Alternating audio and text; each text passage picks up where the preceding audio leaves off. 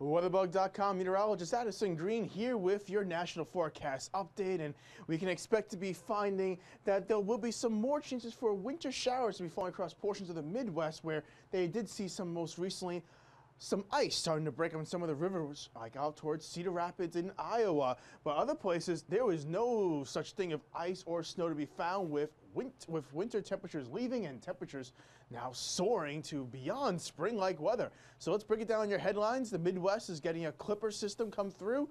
We have some temperatures already on the cool side in the Northeast and in the Southwest. Yeah, we're soaring well beyond normal levels. Up in the upper Midwest, we already have signs of that clipper system moving on through the Dakotas in towards Minnesota. A wintry mix chances over towards accumulating snow is possible, about one to maybe three inches.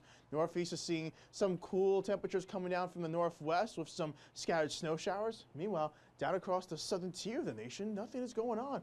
High pressure is dominating, the pattern's very, very quiet. But over here, we'll be noticing that the pattern has a chance for some winter showers to be coming on through. We have one clipper coming through today, and then we have another system that's going to be coming out of the northwest that has a chance for bringing some more significant snow over to the upper Midwest for Sunday night in towards Monday. Seattle, you're first seeing the storm coming through your neck of the woods with some rain showers depositing just over half an inch of rain. And the snowfall coming with this clipper system going on right now, we're talking about a coating to maybe some areas talking about three inches of snow.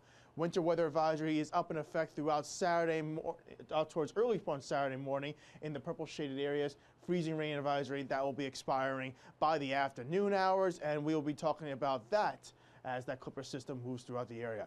Temperatures milder than normal in the southwest, cooler than normal in the northeast. Temperatures are ranging in the 30s, 40s, and a few 50s. To the southwest, 60s, 70s, even 80s and 90s is possible out there today.